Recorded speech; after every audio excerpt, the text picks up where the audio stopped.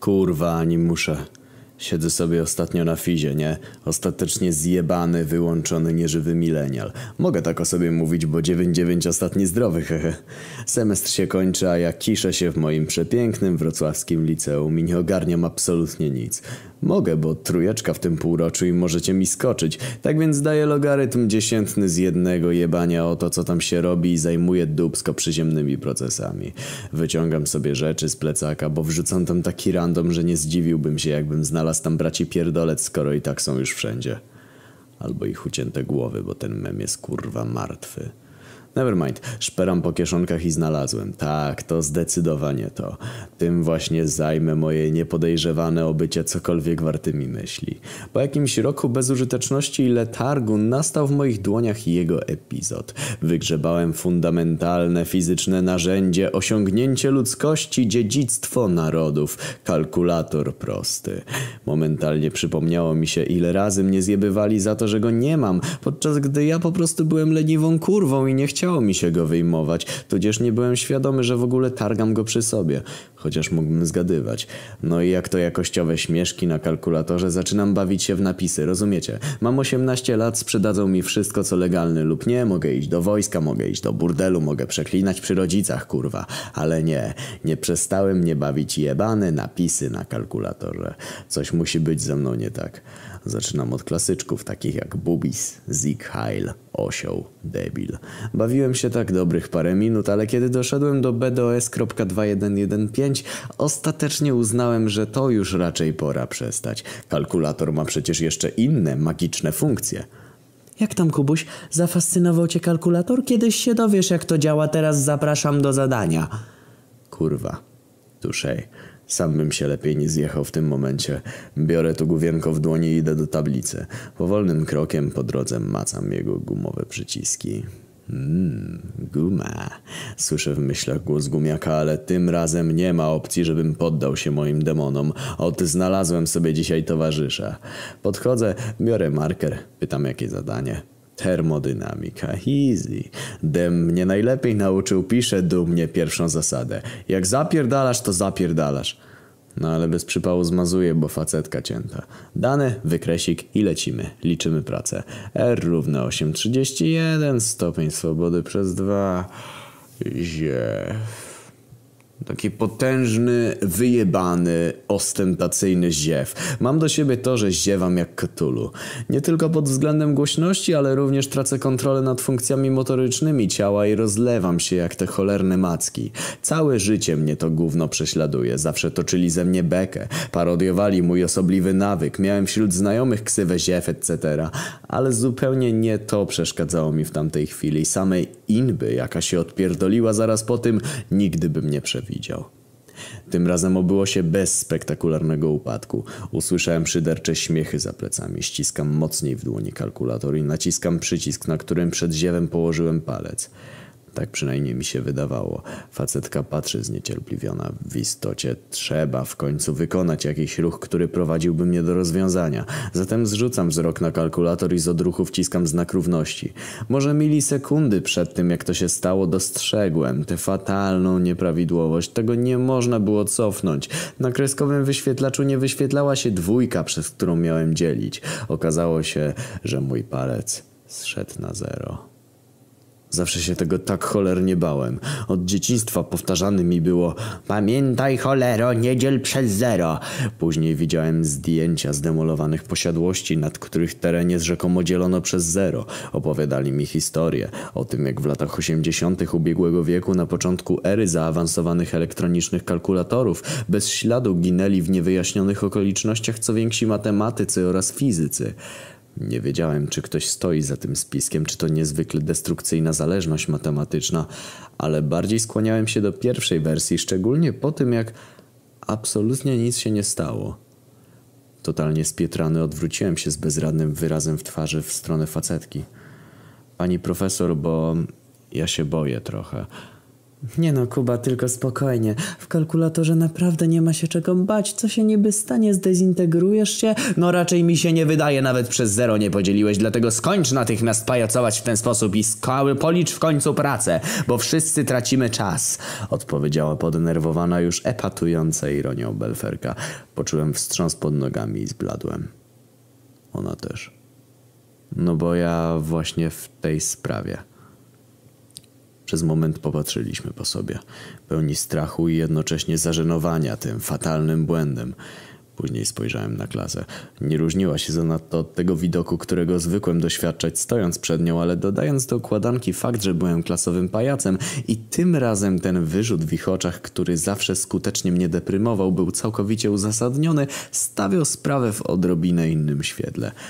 Macie takiego znajomego, który jest tak nieobliczalny, że trzeba się po nim spodziewać nawet akcydentalnego podzielenia przez zero? Nie? Posłuchajcie, cały ten niewerbalny lincz nie trwał jednak na tyle długo, bym miał w ogóle szansę się jakkolwiek przejąć. Raz, że 18 lat życia jako pośmiewisko hartujecie przed niektórymi sytuacjami, a dwa, że nie minęła chwila, a pojawiły się jeszcze nowsze powody do bycia obsranym. Grobowe milczenie sali przerwał trzask. Nie pochodził on jednakże jak poprzedzający go dźwięk z zewnątrz. Przez to jak nagle rozgrzał się mój kalkulator, momentalnie upuściłem go z poparzonej dłoni. Spojrzałem na niego jeszcze raz. Obudowa, topiąc się, przybrała czerwony kolor, a ciekły kryształ, tym razem dosłownie ciekły, a nie w wyświetlaczu zaklęty, deintegrował się w malutkie elipsoidy, jakby te wszystkie zera naprawdę przenikały do murów Politechniki Wrocławskiej. A sądziłem, że stanie się tak dopiero, kiedy rocznik 2000 zda maturę. Temperatura pozostałości po urządzeniu liczącym ciągle gwałtownie wzrastała, aż w końcu gorętsze niż hutadema odłamki przeżarły się przez podłogę, a wszyscy w sali wciąż nie mogąc wydusić z siebie ani słowa, pochyliwszy się nad dziurą, ujrzeli przekrój wszystkich czterech pięter i kilkunastu piwnic budynku. Myślę, że jeśli chodzi o rozwijanie dziurawości poczciwego serowca, mam pewien swój udział. Próżno chyba jednak szukać aprobaty wobec osiągnięcia pozostającego aktualnym przez jakieś parę sekund, zanim Piotrek, najgłośniejszy aferowicz z mojej klasy zdążył krzyknąć Kurwa ziew, coś ty od... Coś mnie ogłuszyło i padłem na podłogę nieprzytomny. Kiedy się ocknąłem, miałem przed oczyma katastrofalny widok. Byłem na parterze, zaraz obok byłej już szatni, wśród nawarstwiających się gruzów zawalonych kondygnacji oraz kałuż krwi, które pozostały po ludziach mających w tamtej chwili mniej szczęścia niż ja. Bo mi, lepę na potylicę za pogwałcenie matematycznej świętości, wyjebał talerz pleksji wypełniający jedno ze znajdujących się w suficie charakterystycznych serowych dziur. Nie zaś pokruszony, a wciąż jakże niebezpieczny, żelbecik. Moja przetrwańcza euforia nie potrwała jednak też za długo. Wziąłem trochę przykład z pastolektora, bo na jednym spadnięciu nie poprzestałem. Otóż razem z całym gruzem wpadłem do potężnego trapdora, który otworzył się pod podłogą. Najwyraźniej budynki PWR-u w sytuacji kryzysowej miały być przystosowane do zamiany w jakieś żelbetowe transformersy. Trochę szkoda mi, że przeze mnie jednak tego nie doświadczymy, ale jeśli słucha mnie jakiś wpływowy Rosjanin, to nie musicie dziękować, towarzyszu. Patrząc już z samego dna, miejsce, w którym się znalazłem, było naprawdę głębokie. Mnogość podziemnych pięter zaparła mi dech w piersiach. Po pierwsze, mimo że totalnie nie wierzyłem temu debilowi od pierwiastka z Ans, który źle wyprowadził wzór, aby ośmiesznić pastę, w jednej kwestii nie kłamał. Na jednym z rozerwanych pięter naprawdę znajdowały się tory. Co więcej, po słupie z napisem 1938 wnioskuję, że metro mielibyśmy już dekady przed Warszawą. Jeszcze tyle cegieł nam zajebali. Nawet do DTR-u mogłyby pójść, gdyby nie ci jebani warszawiacy. Jak ja ich, kurwa... Przez ten moment, w którym dane mi było coś widzieć, na jednym z podziemnych pięter zauważyłem jeszcze jakiegoś dziadka w laboratoryjnym kitlu z włosami farbniętymi na niebiesko. Nie chcę myśleć, po co go tam kisili. Zaraz po tym, jak pomyślałem, że warto byłoby mu się przyjrzeć, bez litości ponownie oberwałem w tył głowy. Tym razem ocuciła mnie wielka igła wbijająca się w głąb mojej szyi. Nie miałem żadnej swobody ruchu. Byłem przykuty na sztywno do czegoś w rodzaju metalowego fotela. Sala, którą miałem przed oczami ciągnęła się z rzędem zwisających lamp bez końca, jak przy złudzeniu optycznym. Gdzieś w przestrzeni, nawet nie wiem jak daleko, zarysowywały się kontury kilku krzeseł, na których zaraz później rozsiadło się kilku jego mościów. Przez chwilę, którą spędzili na milczeniu, rozpoznałem w ich twarzach Alfreda Nobla, Ilona Maska i Marka Zuckerberga, od razu w moich oczach zapłonęły ogniki nienawiści za te wszystkie bany na Facebooku. Ale koniec końców zawsze mogła być to też Susan Wojcicki, która wyrządziła ludzkości więcej krzywdy. O Hitlerze nie wspominam, bo korytarz do jego pokoju był po lewej. Gdzieś w tle leciała pierwsza płyta kalibra 44, co jeszcze bardziej mnie skonsternowało. Odebrało mi mowę, zakładając oczywiście, że nic wcześniej nie zrobili z moimi strunami głosowymi i biernie obserwowałem otoczenie, umierając sam nie wiem, czy bardziej z bólu, czy z ciekawości co do tony rodzących się we mnie pytań, na które świat znany mi z powierzchni nie znał odpowiedzi. Nobel miał już zacząć swoje przemówienie, kiedy z sufitu spadł Jan Paweł II? Ale szybko przeprosił za wpadkę i pozbierał z ziemi kremówki, które mu powypadały, bełkocząc coś o tym, że chyba rozjebał Hyperloopa z Wadowic do Watykanu przez jakiś kamień przygniatający rurę. Sorki, papo. Mimo wyraźnie przygaszonego wejścia dżentelmeni wciąż pozostawali śmiertelnie poważni. Kiedy koszmarny Karol wreszcie po sobie posprzątał, Nobel znów nabrał powietrza i powiedział mi następujące słowa. Chłopcze, czy ty jesteś świadomy tego, co spowodowałeś i dlaczego się tu znalazłeś? No, wygląda na to, że zburzyłem polibudę. Na twarzy Alfreda dało się zauważyć dość spore zniecierpliwienie. Też mi kurwa odkrycie. Inaczej, zburzyłeś polibudę, bo... Bo pierdolę system i matematyka, który w tej chwili rżnie moją byłą. Kurwa. Dobra, chłopaki. Rozkujcie go, nie jest groźny. Pewnie ma truje z fizy i duszę rebelianta. Ale historię serio mogłeś wymyślić sobie oryginalniejszą. Ale panie Alfredzie! Zawołałem stopniowo odzyskując swobodę ruchu rozkuwany spęd przez jakichś pachołków. Przysięgam na Hitlera, że właśnie tak było. O ile nie rozkurwiłem właśnie całego Wrocławia czy coś. Nie schlebiaj tak sobie. Wpadł mi w pół słowa najsłynniejszy chemik. Poza tym do Adolfa to tam w lewo. Konkretniej do Argentyny. Ale przypomniałeś mi tego gościa z Wrocka, który wdepnął w przejście i myślał, że spotkał Hitlera, bo zrobił jakiś chujowy wzór z marki ubrań i to jeszcze źle. A, ten debil. Znam go, chciał się wykopkom przypodobać.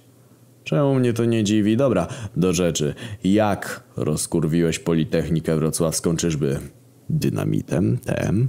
Sam se kurwa nie schlebiaj, sparciały nocniku, pod grzybie wyflaczały. Terroryści to cioty jebane, zawsze gramanty. A więc... Odparł zbywając moje tłumaczenia podenerwowany już Nobel. Co kurwa ja? Dajcie mi nagrywać i naucz się mówić poprawnie, nie zaczyna się ode mnie zdania. Wykrzyczał nagle za jakieś drzwi Dominik z kanału Szara Bluza Vlog. Kurwa, znów ten pasożyt, wracaj do piwnicy. Skarcił go Alfred, a ten zniknął szybciej niż się pojawił. Co za pajac. No, na skraju swojej cierpliwości warknął do mnie chemik. Dwaj pozostali dżentelmeni wciąż bacznie mi się przyglądali. Ale nie będzie się pan śmiał? I wy też? Bo ja tylko czasem z was memowałem. No, nie będziemy. Nagle włączył się cukier. Znaczy, ja cię i tak nie słyszę, bo dalej masz bana. No co za kutas. No dobra, zacząłem. Bo ja podzieliłem przez zero. Uśmiechy, choć szydercze, migiem poznikały z facjat wpływowych panów. Osobiście tym razem pofatygowali się do mnie i złapali mnie pod ręce bez słowa wyjaśnienia wcześniej zabierający głos panowie a Elon Musk przybliżył się do skrzykawki ugrzęzłej w mojej szyi i nacisnął ją ucieszony jak dziecko, mówiąc I poszła rakietka? W głowie to istotnie, musiałem mieć rakietę jak skurwysyn. Trzeci raz z rzędu odpadłem, tym razem jeszcze z powodu jakiegoś dikarolu Wojtylanu czy innego chemicznego gówna. Nie mam pojęcia ile czasu minęło nim obudził mnie plask ogonem cukra w ryj. Wiem tyle, że byłem wycieńczony. Znalazłem się na jakiejś pierdolonej sali tortur. Jak pomyślałem o tym, co się może znaleźć zaraz w różnych miejscach mojego ciała, przyznaję szczerze, iż poziom mojego obsrania osiągnął apogeum. Wyposażenie chwytaków na ścianach było dobijająco imponujące, a ja, poza kompletnym obesrunkiem o własne życie, nie łapałem już ani najmniejszego hinta o jasny, bity chuj tu do ciężkiej pizdy twojej starej chodzi. Ciężkie młoty utwardzane kryształami cukru, tak zwane zaki, jakby złowrogo się do mnie uśmiechały. Wyrzutnie pocisków, które naprowadzał GPS do chipu emitującego Wi-Fi w moim płacie czołowym sprawiały, że nie mogłem złapać oddechu ze strachu. Swoją drogą to chyba dlatego niektóre czoła pokazują siłę sygnału. Ale znane wybuchowe świeczki, zakończone modelem żołędzia, to już było po prostu kurwa za wiele. Zobaczywszy je, totalnie odszedłem od zmysłów i momentalnie wpadłem w panikę. Kiedy z mojego gardła wydobył się jej niemy krzyk, panowie pochylili się nade mną, a Mareczek, jak to ostatnio często praktykował na Facebooku, zakneblował mi mordę. Zdziwiłem się jednak bardzo, gdy poczułem smak tego knebla. Końcówka mojego języka szalała z rozkosznej słodyczy. Niestety reszta moich kubków smakowych nie miała aż tak entuzjastycznego podejścia i jednogłośnie uznała, że to jednak smak gówna. I wtedy mnie olśniło. To tak smakuje poprawność polityczna. Mimo poczucia postępu w swojej przenikliwości ani trochę nie zredukował się mój strach, a tym bardziej mindfuck. Zanim jednak poczułem się jak pszczoła od kosztowania gówna, wyłapałem plaska na drugi policzek, który był na tyle mocnym, że zrzucił mi knebel. No kurwa, Jezus naszych czasów dzieli przez zero za wasze grzechy. Odporność fizyczna mojego organizmu nieustannie malała, odwrotnie proporcjonalnie do mojego zmęczenia, które w tak ekstremalnych sytuacjach może się okazać niebezpieczne dla otoczenia, ale o tym zaraz. Nobel poderwał mnie za szmaty z ziemi. Wisząc półprzytomny na swoim ubraniu, tym razem nie śmiałem już nawet przerwać monologu temu odrealnionemu megalomanowi. Kuba, słuchaj. Wzięliśmy cię tutaj dla przykrywki. Na początku, kiedy spadłeś do podziemi, myślałem, że jesteś niewiele znaczącym dla naszej intrygi przygłupem ze Śląska. Ale gdy wspomniałeś o dzieleniu przez zero, i opowiedziałeś nam swoją historię. Ja wszystko zrozumiałem. Jesteś moim nasieniem, zasianym w XXI wieku. Jakbym miał siłę, naprawdę bym mu powiedział, że jeszcze w XX. Jesteś zaczątkiem geniuszu, jesteś moim podziemiem, choć paradoksalnie znajdującym się na powierzchni. Może nawet jesteś i potomkiem tej ciąży, w której ta kurwa ode mnie odeszło. Ech. Zresztą doświadczyliśmy tego samego. Jak to ta młodzież mówi, nie masakracja, tylko a, lochy to corwy. Trochę cringe'em, ale rację bydlak miał. Do czego dążę, to to, że potrzebujemy w naszej drużynie kogoś takiego jak ty. Jestem pod strasznie głębokim wrażeniem. W wieku 18 lat odkryłeś broń, nad którą pracuję latami. Dzielenie przez zero to jest to, wszyscy się dziś tego boją. Musisz wiedzieć, mój synu, że odkąd ta suka puściła się z matematykiem. Uznałem, że takie zero jak on nie rozdzieli mojej życiowej drogi. I to ja to ja podzielę zero. I to właśnie jest ta idea, drogi Jakubie. Od tamtego momentu zacząłem równolegle z innymi uczonymi zgłębiać to zagadnienie, ale stawka była moja. Nie mogłem pozwolić sobie na wpadkę. Kiedy frustracja wzięła nade mną górę ze względu na koszmarne tyły w porównaniu do innych, byłem zmuszony obrać inny kierunek. Zacząłem ich porywać, torturować i zabijać. Opracowałem ochronne systemy we współpracy z NASA, które wykorzystywały wykorzystują czarne dziury, magnetyzm Ziemi i moje podziemia, do których wszystko się zapada. I właśnie dlatego wciąż jesteśmy tutaj. Ciągle kogoś trzeba sprzątnąć, bo popularność nie działa na moją korzyść. Ludzie myślą, że dawno już umarłem. Ale nie istnieje człowiek bardziej oddany swojej misji niż ja. Gdy tylko osiągniemy dzielenie przez zero, wrócę na powierzchnię i wtedy świat zrozumie, że jeśli ktoś ma dostać matematyczną Nagrodę Nobla, będzie to sam jebany Alfred Nobel. I teraz, kiedy pojawiłeś się ty, młody geniuszu, razem z tymi dwoma wybitnie zdolnymi panami, jesteśmy w stanie to końcu zrobić. Czuję to w kościach. Nasza drużyna jest teraz kompletna. Powiedz mi tylko jedno, dla dobra sprawy. Jestem twoim sprzymierzeńcem. Pamiętaj. Nic ci nie grozi. Cały twój proceder to jedna wielka ściśle tajna fasada, bo musimy się ukrywać przed Nasą i Mensą ale musisz powiedzieć mi, jak to zrobiłeś?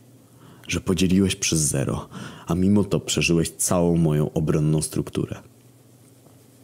Zdążyłem do tego momentu ochłonąć z pożerającego mnie wcześniej strachu i postanowiłem, że przyczynię się do tworzenia historii. Dla dobra nauki. Nie w myśl było mi pozwolić, by taka persona jak sam Nobel została zniszczona przez jakąś pindę. Tak dałem się porwać jego retoryce i powierzyłem mu swoje zaufanie. Zacząłem mu po prostu odpowiadać jak było. Opowiedziałem o leniwej lekcji, pomyłce, którą wstukałem w kalkulator. Kurwa! Co takiego powoli, synu? Co to jest ten kalkulator? Przerwał mi uczony. Cukier i Mask nagło sprychnęli i zbili sobie żółwia. Widać było, że długo na ten moment czekali. Nobel widząc to zachowanie poczerwieniał ze złości i ryknął na nich pytaniem, co ich tak śmieszy. I w tym momencie wszystko ogarnąłem. Stulejącego pod ziemią Nobla nikt nie uświadomił o istnieniu maszyn liczących. Od początku ludzie z NASA, a następnie cukier z maskiem robili sobie z niego jaja, a on został tym samym największym piwniczakiem i frajerem na całym Bożym świecie. Frajerem, który jak tylko ze swojego frajerstwa zdał sobie sprawę, wpadł w najgorszą odmianę furii. Furię upadłych ideałów. Niewiele myśląc porwał wiszący na ścianie bicz, wyzywając naszą trójkę od zautomatyzowanych kurew, ciskał nim na oślep, podczas gdy Ilon i Mareczek unikali jego ataków zwinnymi jaszczurzymi krokami. Ja nie miałem w sobie tyle pary. Moje wymęczenie było już absolutnie krytyczne. I wtedy Nobel przypomniał sobie o moim istnieniu. Wydarł się jeszcze mocniej niż dotychczas. Zaszarżował w moim kierunku, a ja w rozpaczliwej próbie ocieczki od niechybnego mimowolnie, instynktownie podskoczyłem w górę i dostałem po piszczelach. Upadłem płasko na ziemię, na plecy. Pewnie znacie sytuację z dzieciństwa. Padacie, tak i się zahiperwentylowujecie. Nobel zauważył, że mnie unieszkodliwił i odsunął się. Natomiast ja, cóż, próbowałem oddychać, ale właśnie wtedy to się stało. Wraz z odpuszczeniem hiperwentylacji uwolniłem z siebie właśnie niego. Ziewa mojego życia. Takiego mega skurwysyna, że wszyscy trzej obstrali zbroję i pomyśleli, że to alarm i uciekli w obawie o swoje łącznie 12 liter. Zaraz usłyszałem odlatujące prywatne odrzucowce Ilona i Marka. Gdy po parunastu minutach wstałem, poszedłem w ich ślady. Wyjście z pieczary znajdowało się po drugiej stronie całej zajebanej politechnicznym gruzem Odry. Poza Polinką ta w sobie wesoło zapierdalała ponad rzeką tak samo jak wcześniej. Przeszło mi przez myśl, że skoro mamy tu już postapo, to może będziemy mieli w końcu metro... Rozumiecie? Metro XD. Zaraz jednak dostrzegłem bliżej siebie rzecz o wiele istotniejszą. Nobel wybiegając na powierzchnię w jednej chwili się rozłożył. Nadrobił cały ziemski postęp organizmu, który skutecznie blokował nieustannym piwniczeniem. Ciekawe, kiedy wszystkie te anonki rozkminią, że są nieśmiertelne w swoim spierdoleniu.